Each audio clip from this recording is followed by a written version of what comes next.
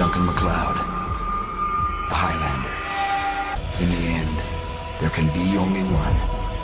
May it be Duncan MacLeod, the Highlander. Series we did we did martial arts. I mean, I studied martial arts for about 12 years now.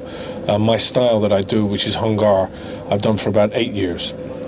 And my teacher Vernon Rieta is with me to to enhance the style that I already have. Here. All right, so if I'm if I'm like that, then then the next shot he has, he pulls down here, Yeah. which I have to do this to, like this.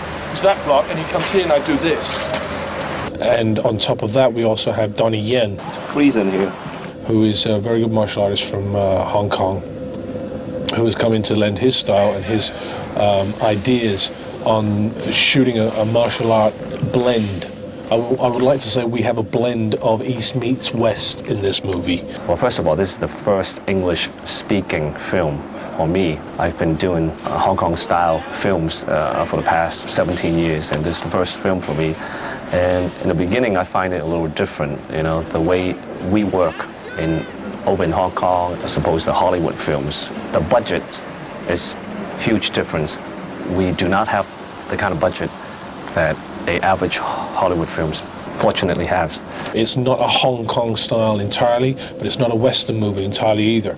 And I think that's kind of what's in- interesting about it. I was also hired as the martial art choreographer because of the success of many other Hollywood films where they're putting the certain Hong Kong martial art flavor into the films. It would, it would eventually gives it a, a new flavor to the whole picture. And that's exactly what I did with it, trying to collaborate the, the, the very Hong Kong martial art style into the original Highlander I never really actually had the chance to um, show a lot of hand techniques, and um, uh, we have in this movie uh, Donnie Yen, who is a very good martial artist from uh, Hong Kong. And uh, at the same time, I wanted to increase my my hand stuff. So my uh, teacher, uh, Vernon Rieta, came to give me my style that I could use in this movie, and we could incorporate not only just doing hand te- techniques hand to hand, but also using hand, feet, feet uh, and and weapon at the same time. Yeah, I'll do And he turns this way. and then I should do this this because Right, it's two right, shots. right. So unless I'm doing this like this, I think it's better. Adrian had studied uh, martial art for at least uh, 11 years, and um, about eight of, the, eight of that years has been with me, uh, studying a style called Hung Gar or Charlie Fat. And this style is uh, really uh, a Shaolin-based kung fu style that has its uh, origination in, uh, in the, the Buddhist temple.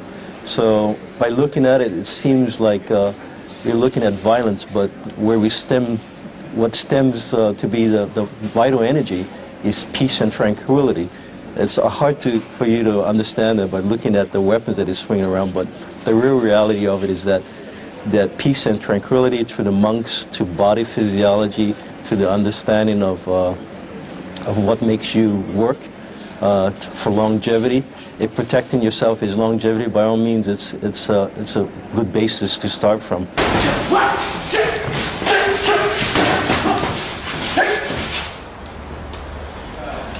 I'm a perfectionist, so when I work, uh, regardless of a different environment or different dialogues, or, or I have different uh, actors which I play against, uh, I try to do the best I can.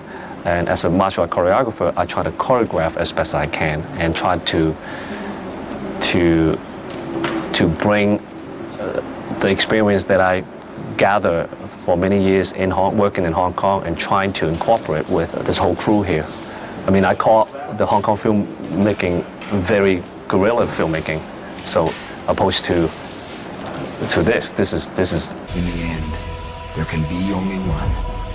May it be Duncan MacLeod, the Highlander.